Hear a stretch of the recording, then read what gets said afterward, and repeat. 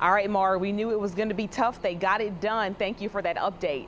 So according to Atlanta police, certain crimes are still trending higher this year compared to last year. As of Labor Day weekend, homicides were up 16% from 2020.